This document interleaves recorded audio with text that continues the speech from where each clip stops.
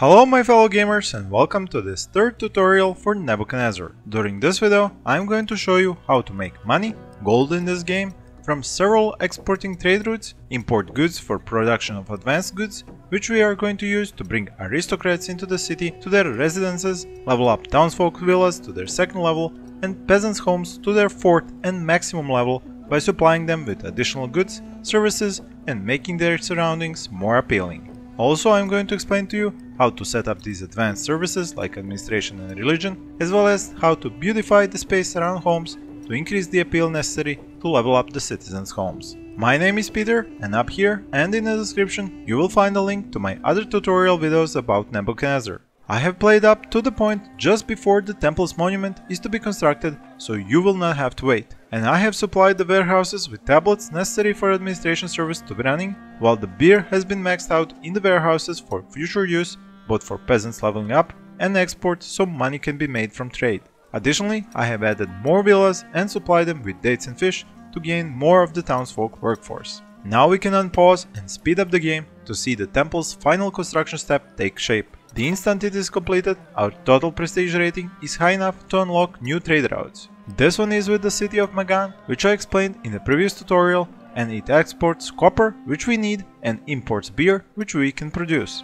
A gift of beer, which we have stockpiled, will start this trade route, and just in time, since we are low on money, gold in this game. In the trade window, we are now going to set the amount of beer to sell each time a trade ship docks in our port. The maximum is the warehouse capacity, which is 36 units. This is what the caravanners will transfer from here but our production is currently paused because we do not have enough peasant workforce. This we can increase by removing the brick makers which we no longer need and turning off the extra clay pits which were supplying them. The remaining production will make sure we have enough ceramics for use and later export. With the freed up peasants, we can turn on the farm producing barley and the brewers producing beer where townsfolk mostly work. One thing that needs some correction is the low stockpile of bread. This takes a small redistribution of farming plots, an additional farm for grain, with new farming plots and an extra bakery. With this done, we can check the food supplies for villas. Here, fish seems to be low and we can add a new fishery to max out the supply. A bit of dates was left behind in the wrong warehouse, but this is nothing a single pass by a caravaner cannot fix. And with food levels high, we should add more townsfolk. This means new villas. The design can remain the same. Villas sandwiched between small cheap gardens with decorative roads around them. Just keep in mind to check your food distributors paths from the markets so that new villas will have access to food. And speaking of food, dates production can be increased with some overflow which we can even export later on. These new villas produce more prestige for our city and this unlocks a completely new trade route. Since we have warehouses full of ceramics, we can instantly unlock this one and export ceramics from now on.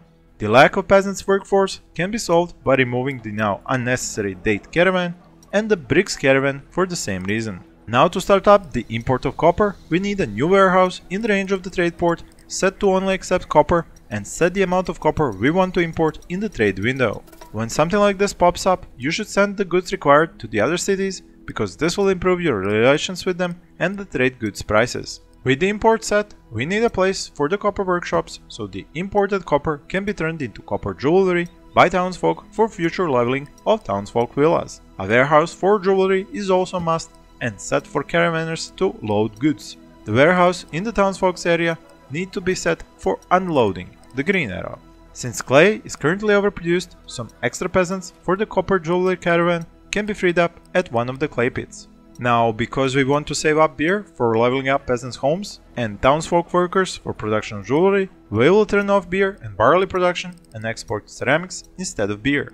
A new caravan will take care of the transportation. If you have free townsfolk, you should increase the production of copper jewelry as you will need lots of it later on. So if you have been enjoying this tutorial, please do not mind me asking you to support me and my channel by hitting that like button below, commenting about your favorite isometric city builder and even subscribing if you haven't already. Now about leveling up those villas. The religion services are already in place from the last tutorial episode, but what we need here is another standard market across from the copper jewelry warehouse and the distributors for it. This quickly levels up the villas and raises our prestige score, which results in even more trade routes being unlocked. You can use the overlays to check the distribution of both religion service and copper jewelry. The spacious villa is aptly named as it has a lot more room for many more townsfolk to live in. If any of the villas do not level up, make sure to check its appeal level as it should be above 9 for the second level. Keep your eye on the distribution of goods and add more production and the import of raw goods like copper if and when you see the need.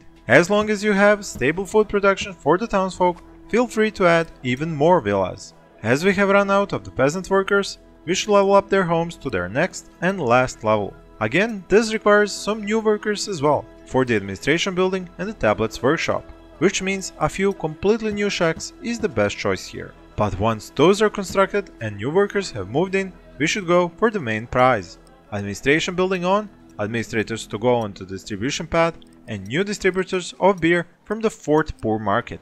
One advice here, start slow, with few new homes leveling up to level 4 to see can you supply them constantly. Besides the beer and administration, level 4 homes for peasants also require a bit of appeal, which we will add with decorated roads very cheaply. These homes will now spend beer, and since we have new peasant workers, we will enable barley production as well as breweries. The administration building spends tablets, which means we have to employ townsfolk in tablet workshops to have a constant supply. If you want to further boost copper jewelry production, you can add another warehouse in the ports range and increase the import quantity past 36. If you want to have more level 4 peasant homes or export to earn money, you will require more beer. So for that, you will have to add another barley farm and more breweries. In case you start feeling like I'm speeding past some of the production and building chains, it is because I have already laid out all of this in great detail in my previous tutorials for Nebuchadnezzar, which you can watch following the links up here and in the description. If you start running out of any foods or goods, like I did milk here, simply level up more peasants' homes to their maximum level and use the new workers for the new farms to once again have ample production of base goods and food. If you end up lacking money, it is best to open up new trade routes and export whichever goods you are or can overproduce and have a city to export them to. For my city here, that good is dates. Heliopolis will buy my dates and I have a nice spot for a new farm to increase the production. So now we come to the main event, actually providing the requirements for the aristocracy. These are furniture and meat. Both we can produce locally but wood is required for furniture and that we cannot produce, so we'll have to import it from Nineveh. The problem? That city wants seals or papyrus as a gift for them to open up that trade route, neither of which we have or can produce right now. But luckily, Heliopolis sells papyrus, so all we need to do is to import the same amount Nineveh requires and send it to them as a gift. To do so, we will add a warehouse which will import exclusively papyrus and set the desired amount and voila, it's done. Stop importing first, then send the papyrus gift to Nineveh, from where we can now import wood. Before opening up new workshops for furniture and meat, we can upgrade more peasants and townsfolk homes so we gain extra workforce and add any production capacity for food or goods which seems lacking.